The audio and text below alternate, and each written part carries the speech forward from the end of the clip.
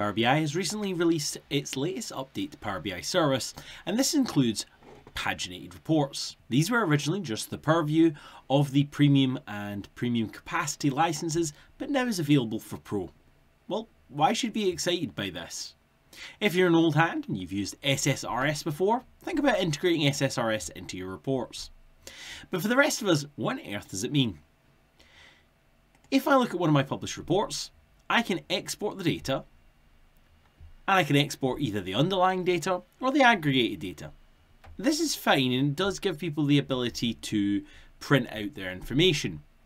However, a paginated report allows a little bit more flexibility. I can apply filters and then generate what is very similar to an Excel spreadsheet. I can export the data to a huge variety of different sources very easily. So let's have a look at setting one up. There are two ways that you can start off by creating the paginated report. For your starting one, I would recommend publishing a report that you're happy with and having a page available that you're going to connect to. Come over to the left hand side, click on your workspace, and then go to the data source that you want to attach the paginated report to. So here I'm using my existing paginated report. So here I'm using my existing dataset. In the top left hand corner, go to File.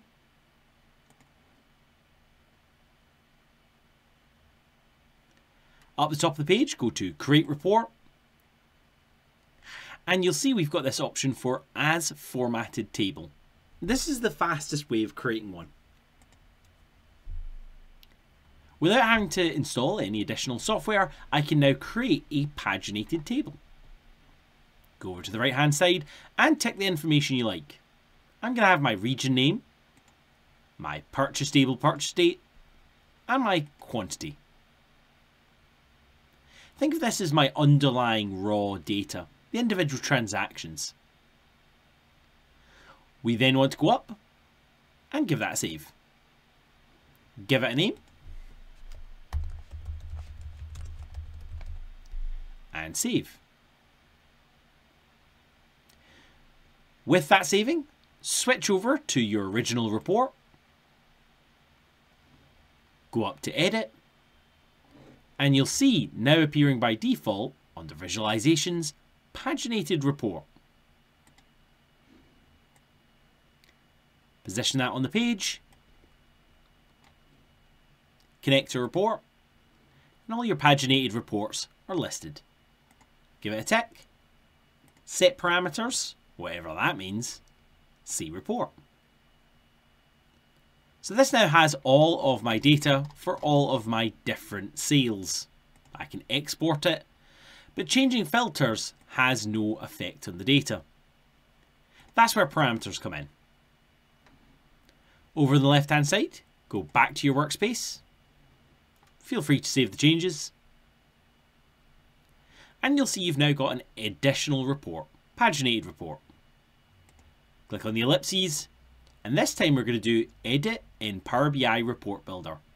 You're going to be limited with what you can do if you just want to create paginated tables. So I'm going to edit it here. At this point, if you haven't already downloaded, you will now be prompted to download Power BI Report Builder.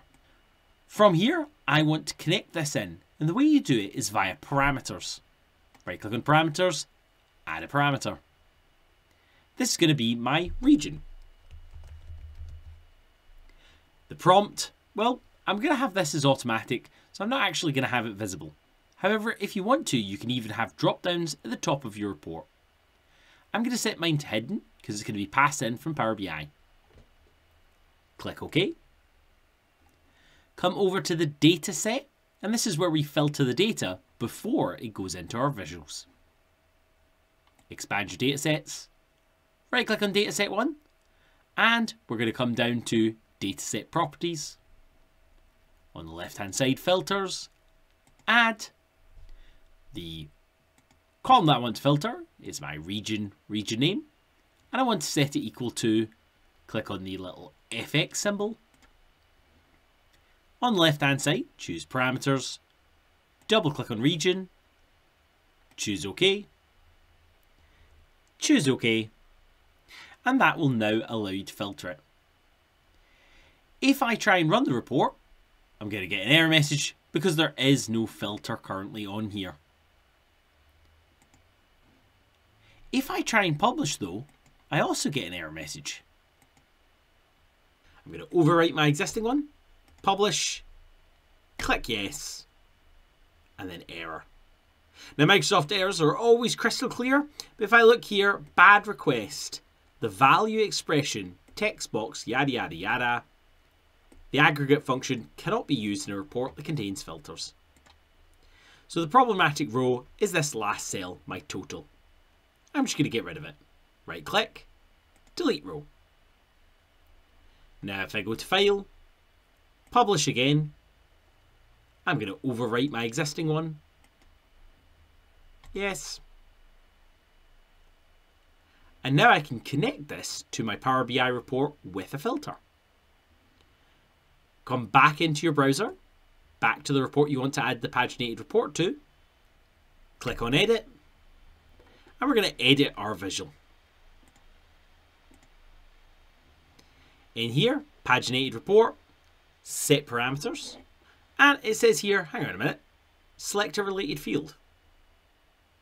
This is blank because we haven't actually set any fields into our paginate report. From Power BI, I want to pass in the region name into parameters.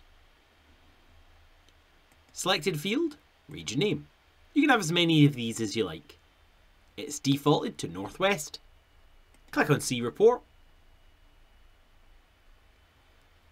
and you'll see now the two are linked. If I choose a second region and apply, at first glance it looks like it's working. However, if I use these two little arrows to jump to the very last page of the report, it turns out that's not the case. Come back down to your Power BI Report Builder, click OK, and come back to your parameter. Double click, and we want to allow multiple values. Tick that, choose OK. Come to your dataset, right click, dataset properties, down to filters, and instead of equals, which only allows one option, use the drop down and choose In. Click OK. This means that I can now pass in a comma separated list of filters. File. I want to republish. I'm going to overwrite the existing one.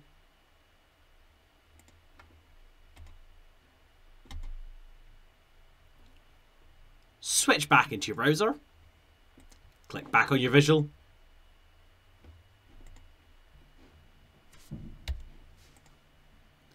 Up to the ellipses.